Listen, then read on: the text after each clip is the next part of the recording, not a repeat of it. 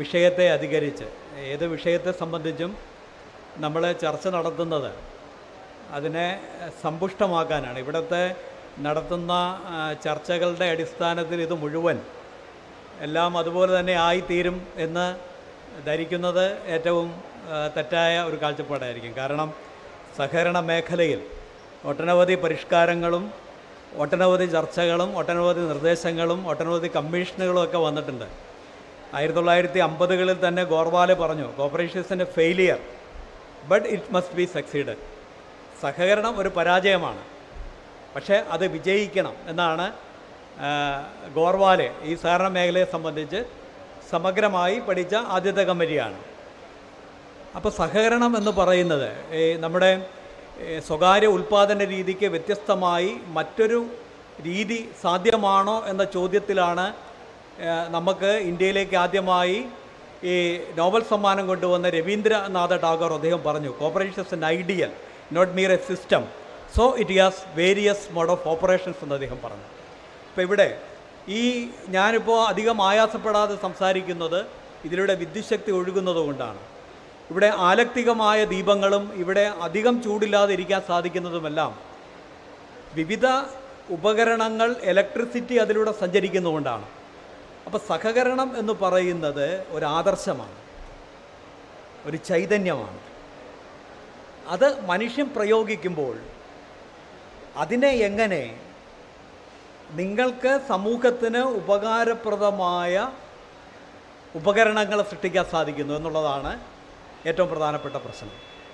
ആയിരത്തി എണ്ണൂറ്റി നാൽപ്പത്തി നാലിൽ ഔദ്യോഗികമായി അതിനു മുമ്പ് റോബർട്ടോവൻ ആവ- ആരംഭിച്ചെങ്കിലും ആയിരത്തി എണ്ണൂറ്റി നാൽപ്പത്തിനാലിൽ സഹകരണത്തിന്റെ ഇന്നത്തെ ആദ്യ രൂപങ്ങളായ സഹകരണ തത്വങ്ങളുടെ അടിസ്ഥാനത്തിൽ രൂപീകരിക്കപ്പെട്ട റോഷ്ഡേൽ പൈനേഴ്സിന്റെ കാലം മുതൽ ഇന്നുവരെ ഉള്ള സഹകരണ പ്രസ്ഥാനത്തിന്റെ ചരിത്രമെടുത്താൽ ലോകത്തിലെ സഹകരണ പ്രസ്ഥാനവും ഇന്ത്യയിലെ സഹകരണ പ്രസ്ഥാനത്തിന് രണ്ട് വ്യത്യാസമുണ്ട്. ഒന്ന് ലോകത്തെ സഹകരണ പ്രസ്ഥാനം അവിടുത്തെ ജനങ്ങളുടെ ആവശ്യമായി ഉയർകൊണ്ടൊരു പ്രസ്ഥാനമാണ്. All for each each for all എന്ന് പറയുന്നത് അവിടുത്തെ ജനങ്ങളുടെ ഈ മുതലാളിത്തവൽക്കരണം സൃഷ്ടിക്കുന്ന കെടുതികളുടെയും വറുതികളുടെയും നടുവിൽ മനുഷ്യൻ കണ്ടുപിടിച്ച വ്യത്യസ്തമായ ഒരു സവിശേഷമായ വ്യാപാര രീതിയാണ് സഹകരണം എന്ന് പറയുന്നത്.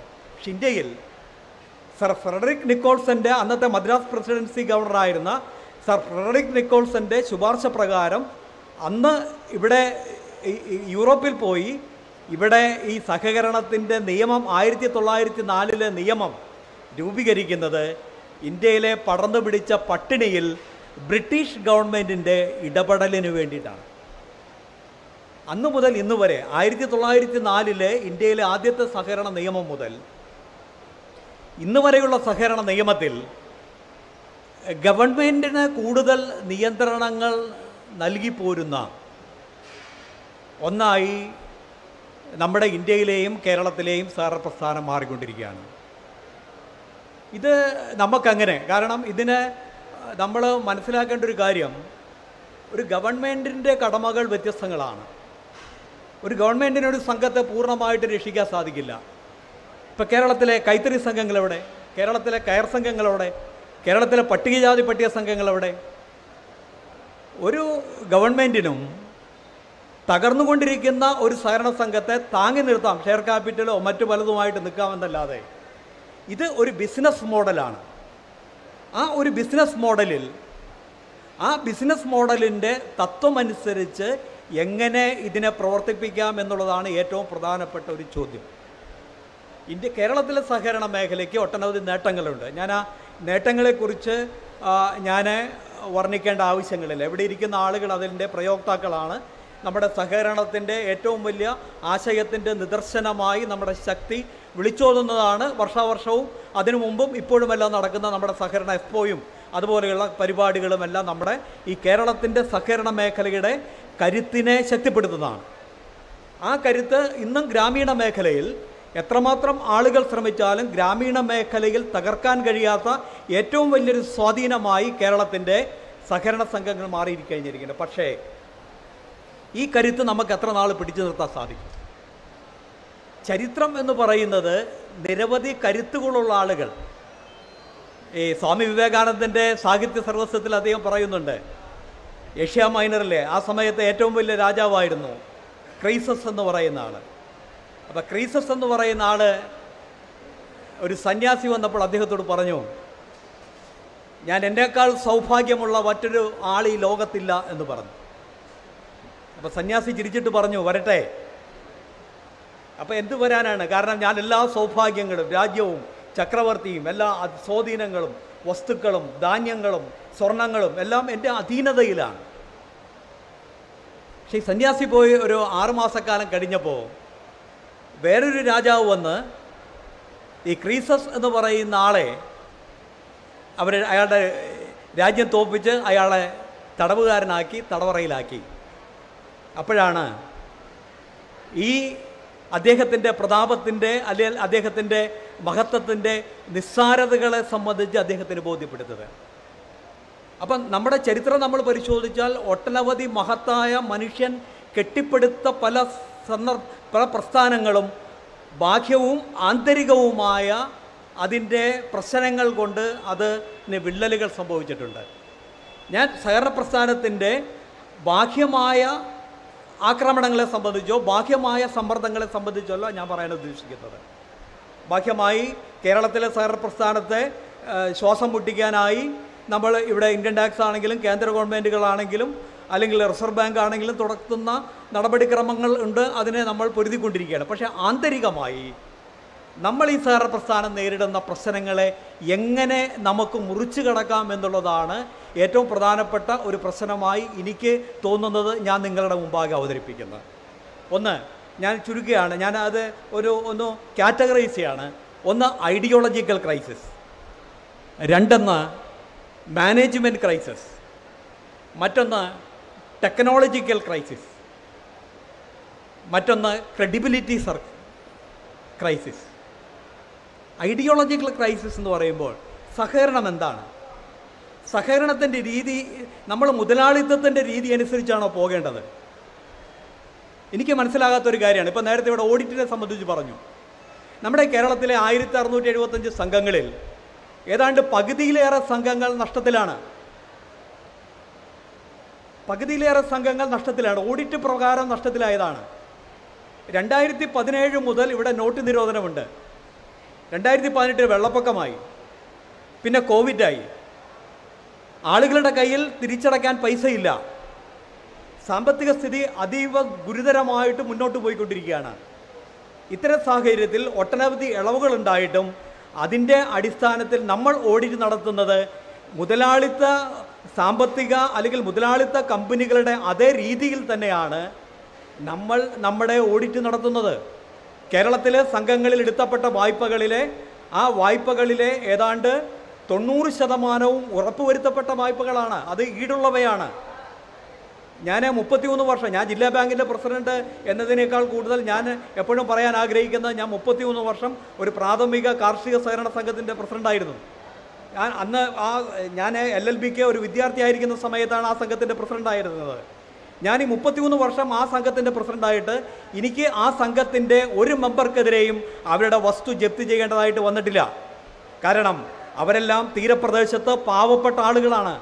അവരിന്നല്ലെങ്കിൽ നാളെ അടയ്ക്കും.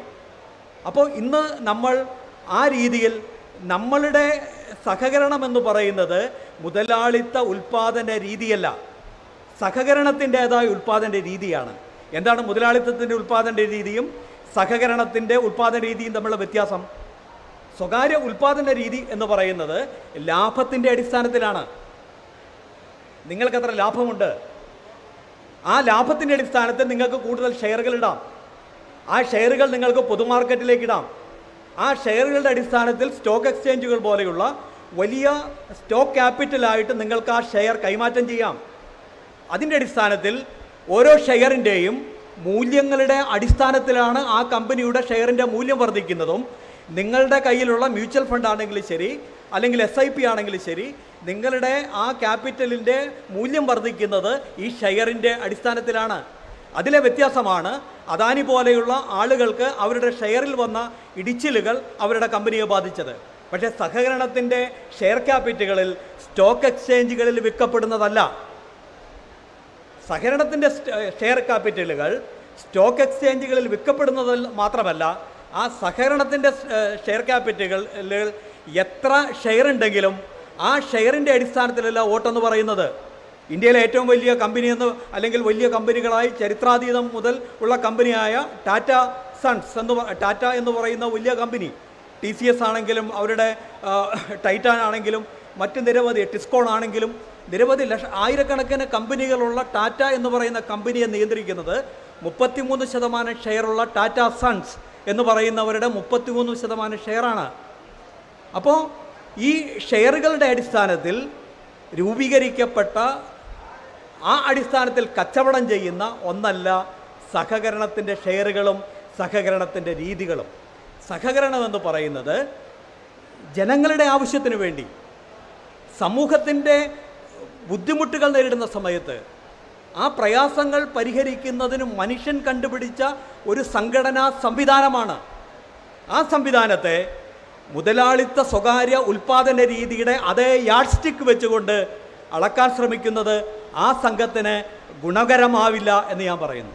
മറ്റൊന്ന് ഗവൺമെന്റ് സെക്രട്ടറി മറ്റ് ആളുകൾ അവിടെയുണ്ട് ഇപ്പോൾ നമ്മുടെ സഹകരണ അതുകൂടിയാണ് അതുകൂടി ഞാൻ പറഞ്ഞു. സഹകരണ നിയമത്തെ. അത് പറയാതെ പോകുന്നത് ഈ മേഖലയിൽ പ്രവർത്തിച്ചിരുന്ന ഒരാൾ എന്നുള്ള നിലയിൽ പറയാതെ പോകുന്നത് ശരിയല്ല എന്നുള്ളത് കൊണ്ട് ഞാൻ പറയുകയാണ് ഇപ്പോൾ സഹകരണ നിയമത്തിൽ നമ്മളൊരു പുതിയ നിയമം കൊണ്ട് കൊണ്ടുവന്നിരിക്കണം. മറ്റ ഒന്നിനെ സംബന്ധിച്ചും എനിക്ക് അഭിപ്രായ വ്യത്യാസങ്ങളില്ല. അതൊക്കെ സഹകരണ മേഖലയെ നന്നാക്കാനാണ്. പക്ഷേ എന്തിനാണ് നമ്മുടെ സഹകരണ സംഘത്തിന്റെ കാര്യത്തിൽ പോലീസുകാർക്ക് എന്താ കാര്യം? ഇന്നസെന്റ് ചോദിക്കുന്നത് പോലെ. പോലീസുകാർക്ക് എന്താ ഈ സഹകരണ സംഘത്തിൽ കാര്യം? ഏതെങ്കിലും ഒരു സഹകരണ സംഘത്തിൽ ഒരു പ്രശ്നമുണ്ടായി എന്നുള്ളത് കൊണ്ട് കരുവന്നൂർ സർവീസ് ബാങ്കിൽ പ്രശ്നം ഉണ്ടായിട്ട് കേരളത്തിലെ ആയിരത്തി അറുന്നൂറ്റി എഴുപത്തഞ്ച് സംഘങ്ങൾ കരുവന്നൂർ സർവീസ് സഹകരണ ബാങ്കാണോ? ഇവിടെ റിസർവ് ബാങ്കിന്റെ കീഴിൽ പ്രവർത്തിക്കുന്ന എത്രയോ ബാങ്കുകൾ തകർന്നു. എവിടെ? കൊച്ചിൻ ബാങ്ക് എവിടെ? എവിടെ? പറവൂർ സെൻട്രൽ ബാങ്ക് എവിടെ? എവിടെ? നെടുങ്ങാടി ബാങ്ക് എവിടെ?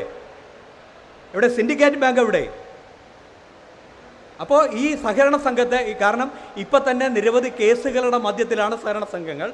അപ്പോൾ സംഘങ്ങളെ വിശ്വാസത്തിലെടുത്ത് ഇത് സഹകാരികൾ ഡിപ്പാർട്ട്മെന്റും എല്ലാവരും കൂടി കെട്ടിപ്പടുത്ത ഒരു പ്രസ്ഥാനമാണെന്നുള്ള നിലയിൽ അവരെ വിശ്വാസത്തിൽ എടുക്കാതെ പോയി കഴിഞ്ഞാൽ ഇത് ആ പ്രസ്ഥാനത്തെ മുന്നോട്ട് നയിക്കുന്നതിൽ ഒട്ടനവധി ബുദ്ധിമുട്ടുകൾ വരും. അതാണ് എനിക്ക് ഐഡിയോളജിക്കൽ ക്രൈസിസിന് നമ്മുടെ സഹകരണ സംഘങ്ങൾ സ്വകാര്യ ഉൽപാദന രീതിയുടെ പാതയിൽ സഞ്ചരിക്കാതെ മറ്റൊന്ന് നമ്മുടേതായ സഹകരണ തത്വങ്ങളുടെയും സഹകരണ നയങ്ങളുടെയും അടിസ്ഥാനത്തിൽ നമ്മൾ സഞ്ചരിക്കണം എന്നാണ് എനിക്ക് പറയാനുള്ള ഒരു കാര്യം.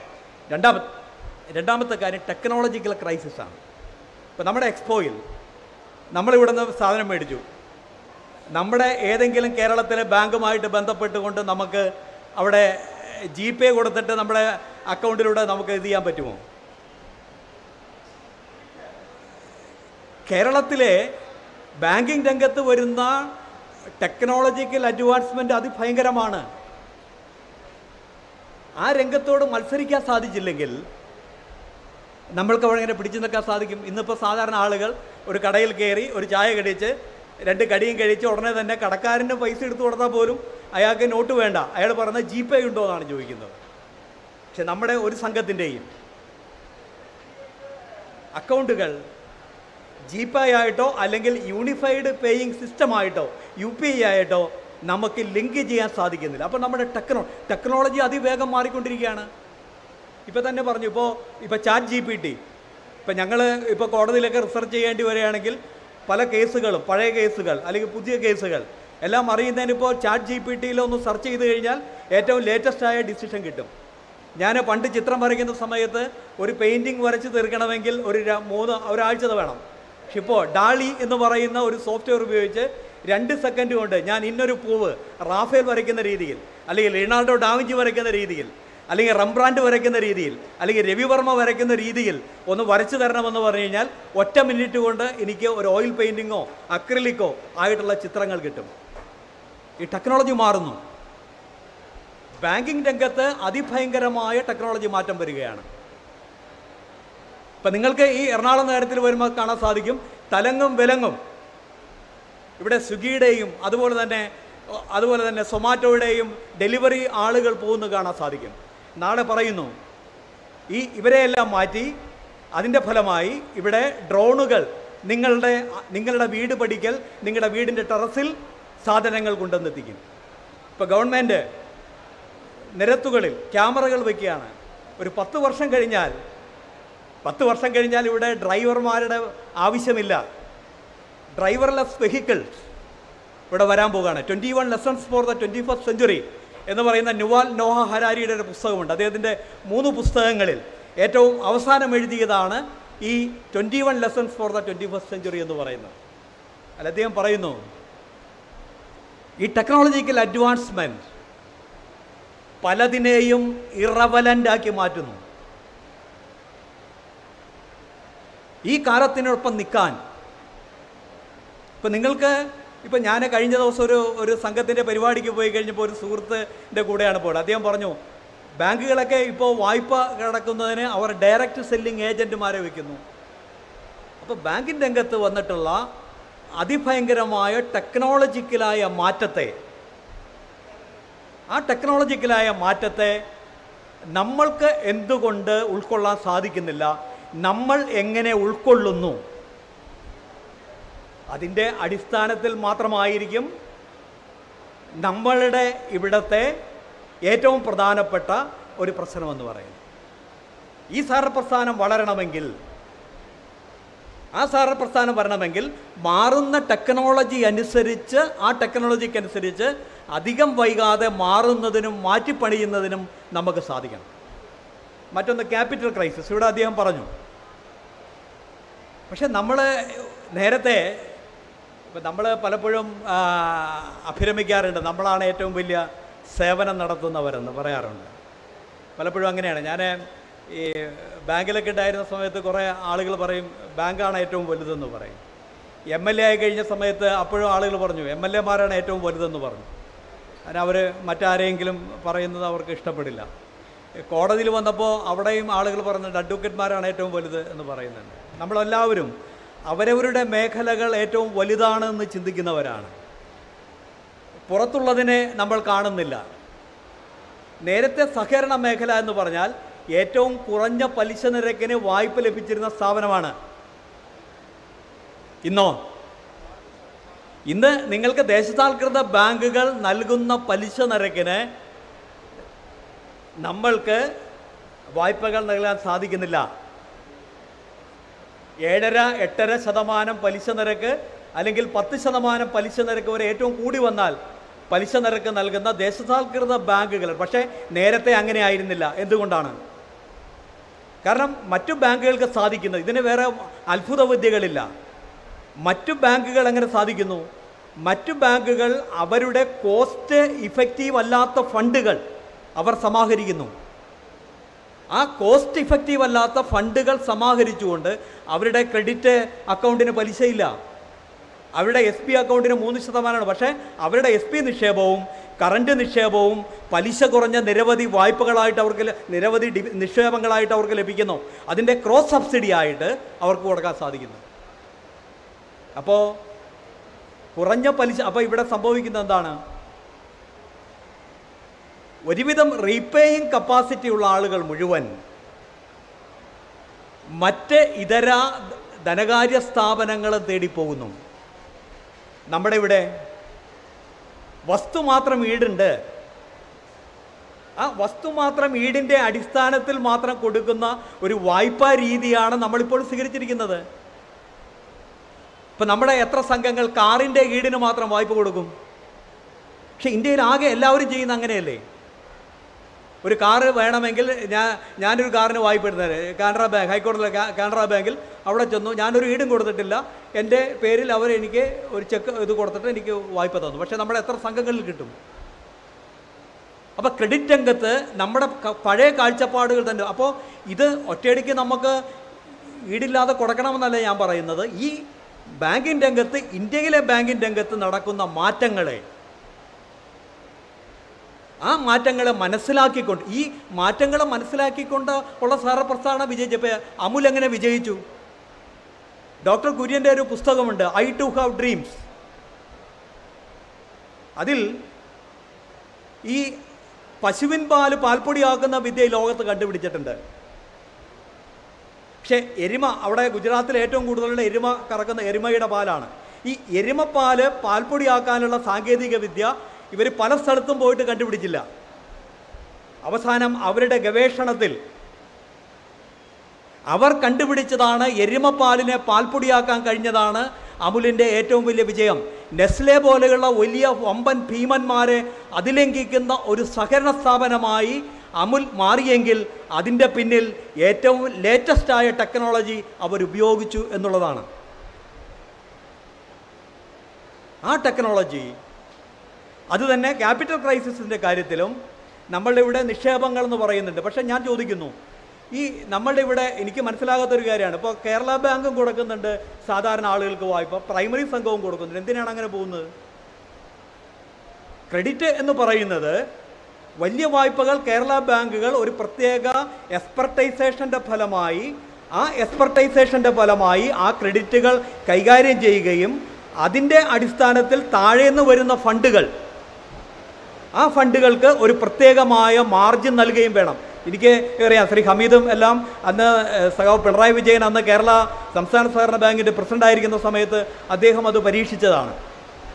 അന്ന് കേരള അന്ന് കേരള സംസ്ഥാന സഹകരണ ബാങ്ക് ജില്ലാ ബാങ്കിന്റെയും അതുപോലെ തന്നെ പ്രൈമറി ബാങ്കുകളുടെയും ഒരു പ്രത്യേക നിക്ഷേപം പ്രത്യേക സമയത്ത് മാർക്ക് ചെയ്യുകയാണെങ്കിൽ അതിന് മാത്രം ഒരു പ്രത്യേക റേറ്റ് കൊടുക്കും. എല്ലാത്തിനും കൊടുക്കണമെന്നില്ല അപ്പോൾ സംഘങ്ങളുടെ നിക്ഷേപം സംഘങ്ങൾ പ്രാഥമിക സംഘങ്ങളിലാണ് ഈ നിക്ഷേപങ്ങളുടെ ഉറവകൾ. കേരള ബാങ്കിന്റെ നിക്ഷേപം എന്ന് പറയുന്നത് കേരള ബാങ്കിന്റെ നിക്ഷേപത്തിന്റെ ഏതാണ്ട് ഞാൻ മനസ്സിലാക്കുന്നത് തെറ്റുണ്ടെങ്കിൽ ക്ഷമിക്കുക ഏതാണ്ട് എൺപത് ശതമാനത്തോളവും. പ്രാഥമിക കാർഷിക സഹകരണ ബാങ്കുകളുടെ നിക്ഷേപമാണ്.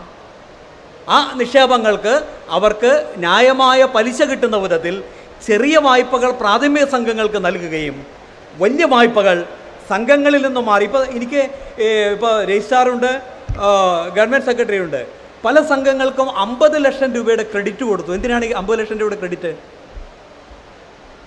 ഇവിടെ ഇരിക്കുന്ന എത്ര പേർക്ക് ഈ അമ്പത് ലക്ഷം രൂപ തിരിച്ചടയ്ക്കാൻ സാധിക്കും?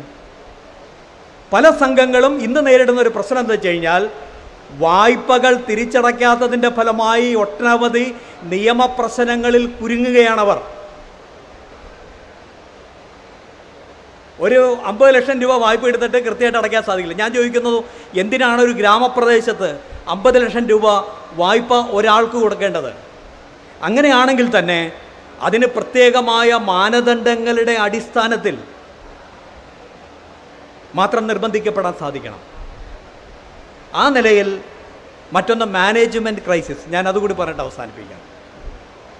നമ്മളുടെ ഈ ഷോ നടത്തേണ്ടവരാരാണ്? ഇപ്പോൾ ഈ സഹകരണ എക്സ്പോ നടത്തുന്നത് അതിന്റെ പിന്നിൽ ഒരു ടീമില്ലെങ്കിൽ ഈ സഹകരണ എക്സ്പോ വിജയിക്കില്ല. ഏത് ഷോയും നടത്തുന്നത് അതിന്റെ പിന്നിൽ അർപ്പണബോധത്തോടു കൂടി നിൽക്കുന്ന കുറേ ആളുകളാണ്. അപ്പോൾ ഈ സഹകരണ മേഖലയുടെ വിജയം എവിടെയാണ്? ഇതിൽ അർപ്പണബോധത്തോടു കൂടി വന്നിട്ടുള്ള ഒരു കൂട്ടം സഹകാരികളും ഡിപ്പാർട്ട്മെന്റും ജീവനക്കാരും ചേർന്നാണ് ഈ സഹകരണ പ്രസ്ഥാനത്തെ ഇന്നത്തെ നിലയിലേക്ക് നമ്മൾ വളർത്തിയെടുത്തത്. ഇന്ന് നമ്മൾ മാനേജ്മെന്റ് ക്രൈസിസ് എന്ന് പറയുമ്പോൾ നമ്മൾ ആന്തരികമായി പരിശോധിക്കുമ്പോൾ നമ്മുടെ ബോർഡിന്റെ പ്രധാനപ്പെട്ട ലക്ഷ്യം എന്താണ്? ബോർഡ് എന്ന് പറയുന്നത് നമ്മൾ ഒരു ജനാധിപത്യപരമായി നമ്മുടെ ഉത്തരവാദിത്വം നമുക്ക് വീണ്ടും എങ്ങനെ? ഇപ്പോൾ എം എൽ എമാരെ ഇപ്പോൾ ജയരാജ ആണെങ്കിലും ശരി ഹമീദ് ആണെങ്കിലും ശരി അവരുടെ മണ്ഡലം അവർ നഴ്സ് ചെയ്യുന്നത് അടുത്ത തവണ അവിടെ സീറ്റ് കിട്ടുകയാണെങ്കിൽ അവർക്ക് അവിടെ വീണ്ടും ജയിക്കാൻ സാധിക്കുമോ എന്നുള്ള രീതിയിലുള്ള കാര്യങ്ങൾ അവർ ചെയ്യും. അത് അവരുടെ ഡ്യൂട്ടിയുടെ ഭാഗമാണ്. ഇപ്പോൾ ഭരണസമിതി അംഗങ്ങൾ പലപ്പോഴും ഇന്ന് സംഘത്തിലെ തെരഞ്ഞെടുപ്പുകൾ കൂടുതൽ രാഷ്ട്രീയമായി മാറിക്കഴിഞ്ഞിരിക്കുന്ന സാഹചര്യത്തിൽ ആ രാഷ്ട്രീയമായ കാഴ്ചപ്പാടുകൾ വെച്ച് പല രീതിയിൽ ആളുകളെ അപ്പീസ്മെന്റ് ചെയ്യുന്ന നിലയിലേക്ക് പോകുന്നുണ്ട്. പക്ഷെ ഇന്നറായിട്ടോ? ഇന്നറായിട്ട് നമ്മുടെ പല നിയമങ്ങളും സഹകരണ ഇന്ന് നടത്തപ്പെടുന്ന നമ്മുടെ ഷോയിലെ പ്രധാനപ്പെട്ട ജീവനക്കാരുടെ ഭാഗത്തു നിന്നും പലപ്പോഴും എനിക്ക് എന്റെ മുമ്പിൽ വരുന്ന ചില കേസുകളുമായി ബന്ധപ്പെട്ടിട്ടുള്ള പല സംഘങ്ങളുടെയും ഡോക്യുമെന്റുകൾ പരിശോധിക്കുമ്പോൾ ഇന്നത്തെ കാലഘട്ടത്തിൽ ഇന്ന് ഒരു സംഘത്തിന്റെ നിക്ഷേപം എത്രയാണ്? ഒരു മുപ്പത് കോടി രൂപ മുതൽ പ്രാഥമിക കാർഷിക സംഘത്തിന്റെ മുപ്പത് കോടി രൂപ മുതൽ ആയിരത്തഞ്ഞൂറ് രണ്ടായിരം കോടി വരെ കൈകാര്യം ചെയ്യുന്ന സംഘങ്ങളാണ്. ആ സംഘങ്ങളുടെ അത്രമാത്രം വൈപുല്യമേറിയ പ്രവർത്തനത്തിന് പറ്റുന്ന ഒരു ഘടനയാണോ ഒരു മാനേജ്മെന്റ് ഘടനയാണോ നമ്മൾ ഇന്ന് സ്വീകരിക്കപ്പെട്ടത് എന്ന് ഈ മൂന്ന് പ്രതിസന്ധികളെ നമ്മുടെ ഈ കേരളത്തിന്റെ സഹകരണ മേഖല നേരിടുന്ന മൂന്ന് ideological crisis capital crisis technological crisis ഈ മൂന്ന് ഈ പ്രധാനപ്പെട്ട പ്രതിസന്ധികളുടെ നിങ്ങളുടെ മുമ്പാകെ അവതരിപ്പിച്ചുകൊണ്ട് സഹകരണത്തിന് പത്തൊമ്പതാം നൂറ്റാണ്ടിലെ സാമ്പത്തിക ഇന്ദ്രജാലമാണ് സഹകരണം. ഗാന്ധിജി പറഞ്ഞു there is seats in cooperation no one is weaker or stronger among those who cooperates all are equal എന്നാണ് അദ്ദേഹം പറഞ്ഞത്. ഈ സഹകരണം മാധുര്യമേറിയതാണ്. ഈ ഇന്ത്യയിലെ സഹകരണ പ്രസ്ഥാനം ആരംഭിക്കുന്ന ഡോക്ടർ ജവഹർലാൽ നെഹ്റു പറഞ്ഞത് my outlook of cooperative is to convulse India with the spirit of cooperation എന്നാണ്. ഇന്ത്യയിലെ ഗ്രാമഗ്രാമാന്തരങ്ങളെ ത്രസിപ്പിക്കുന്ന ഏറ്റവും വലിയ ഒരു സാമ്പത്തിക ഇന്ദ്രജാലമായി. അതിന്റെ ശക്തിക്ക് ഇന്നും വലിയ കോട്ടങ്ങൾ സംഭവിച്ചിട്ടില്ല. പക്ഷേ ഇതിനെ കൂടുതൽ ജോജല്യമാനമായ രീതിയിലേക്ക് ഇതിന്റെ ദൗർബല്യങ്ങൾ പരിഹരിച്ച് ഇതിനെ കൂടുതൽ കുതിച്ചുയർന്ന് ഈ സമൂഹത്തിനാകെ സേവനം നൽകുന്ന ഒന്നായി അതിന് കരുത്തു പകരാൻ ഈ എക്സ്പോ സഹായിക്കട്ടെ എന്ന് മാത്രം ആശംസിച്ചുകൊണ്ട് ഞാൻ എന്റെ മക്കൾ അവസാനിപ്പിക്കും